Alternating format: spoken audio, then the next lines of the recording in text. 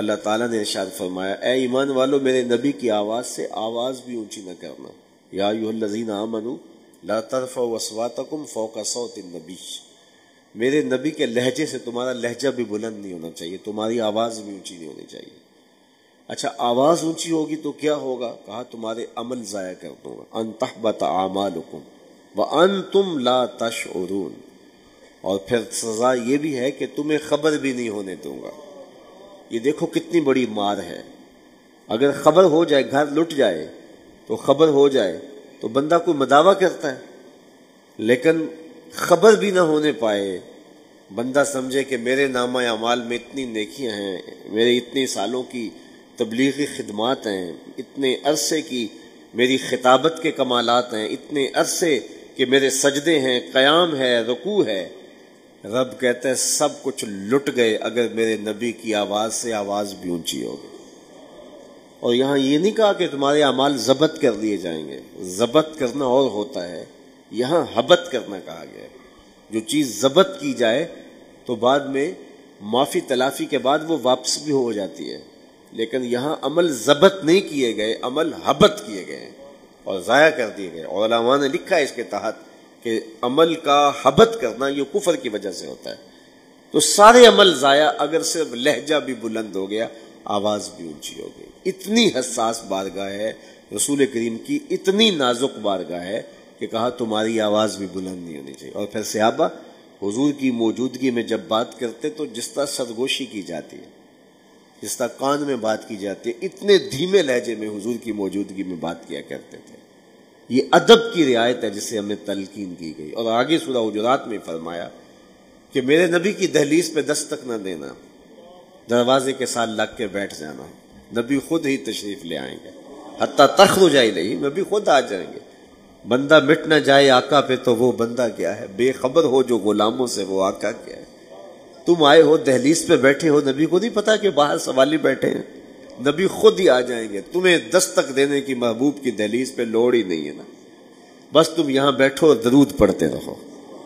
اور صحابہ اس معمول کو زندگی میں رکھے ہوئے تھے کہ حضور کی دہلیز پہ دستک دیتے ہی نہیں تھے۔ اور اگر کبھی نوبت آ جاتی، وہ کیا ناگزیر حالات ہو جاتے، ایمرجنسی حالات ہو جاتے، تو حضور کے در نور پہ دستک دینے کی حاجت آ ہی جاتی۔ تو پھر بھی ان کا طریقہ ادب کیا تھا؟ امام بخاری نے ادب المفرد میں لکھا ہے۔ کانت تک رہو اب باب النبی بال صحابہ اپنی انگلیوں کے پوروں کے ساتھ حضور کی دہلیز پہ دستک دیا کرتے تھے۔ ناخنوں کے ساتھ دستک دیا کرتے اور ساغر مرحوم نے کہا تھا، میں نے پلکوں سے درے یار پہ دستک دی ہے۔ میں وہ سائل ہوں جسے کوئی صدا یاد نہیں۔ اس کا تو شاعرانہ تخیل تھا۔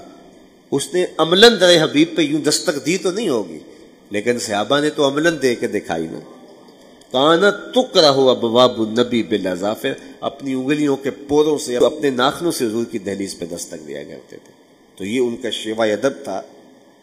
اللہ تعالیٰ نے حضور کی بارگاہ کے کتنے ادب ہمیں سکھائے۔ اے ایمان والو، جب میرے نبی کے حضور تم نے کوئی سرگوشی کرنی ہو، یا الزین امن ازا نا جے تم رسول فقدمو بین ید نجواکم صدقہ۔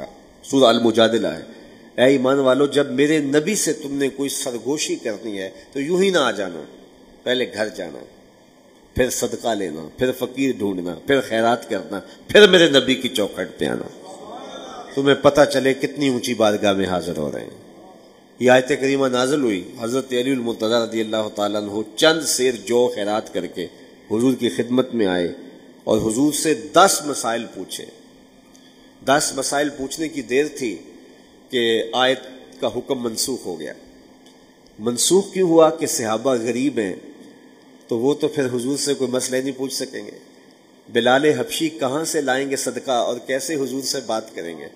ابو ذر غفاری کیسے حضور سے سرگوشی کر پائیں گے؟ صحابہ کی غربت کا لحاظ کرتے ہوئے اس حکم کا وجوب اٹھا لیا گیا۔ صرف استحباب باقی ہے۔ صرف حضرت علی المرتضی عمل کر سکے، باقی کسی اور کو موقع ہی نہ ملا۔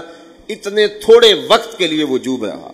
آئے تتری، ایک عمل ہوا، حکم اٹھا لیا گیا، کیوں صحابہ غریب ہیں میں آپ سے ایک بات پوچھتا ہوں۔ مجھے یہ بتاؤ کہ آیت کے نازل کرنے کے بعد رب کو پتا چلا صحابہ غریب ہیں یا پہلے پتا تھا؟ اگر پہلے پتا تھا تو پھر آیت اتاری ہی کیوں؟ اللہ کا علم حصولی اور حادث نہیں ہے۔ اللہ کا علم حضوری اور قدیم ہے۔ تو اس کو تو پہلے ہی پتا تھا کہ صحابہ غریب ہے۔ تو اللہ اتارتا ہی نہ، آیت نازل ہی نہ کرتا۔ لیکن پہلے نازل کر دی، پھر کہا تمہاری غربت کا لحاظ حکم واپس لے رہے۔ تو حکم واپس لینا ہی نہ پڑتا۔ اللہ تعالیٰ نازل ہی نہ کرتا صحابہ کی غربت پہلے ہی اس کے علم میں تھی۔